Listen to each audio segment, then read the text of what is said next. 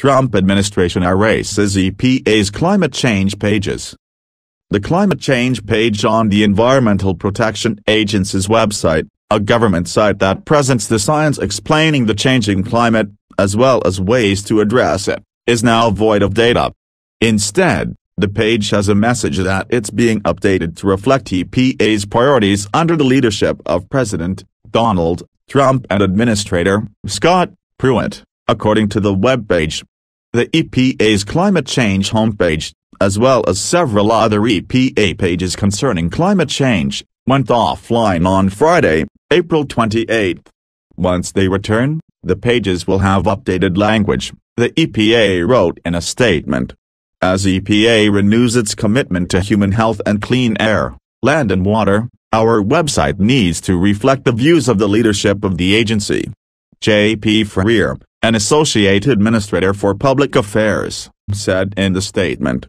We want to eliminate confusion by removing outdated language first and making room to discuss how we're protecting the environment and human health by partnering with states and working within the law. The scrubbing includes a page that explained how the greenhouse gas carbon dioxide contributes to climate change, according to the Washington Post.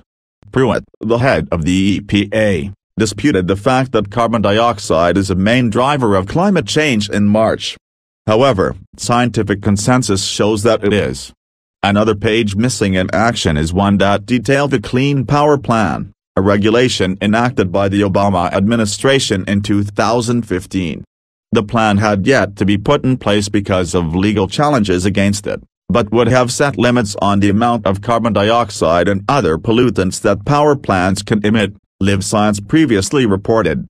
The data included on the page about the plan, including fact sheets showing how greenhouse gas emissions varied at state and local levels, are also gone, according to the Post. Instead, the EPA has a page that describes the president's executive order that rolls back the plan. The web pages were cleared a day before the People's Climate March, held April 29 in Washington, D.C., and satellite cities.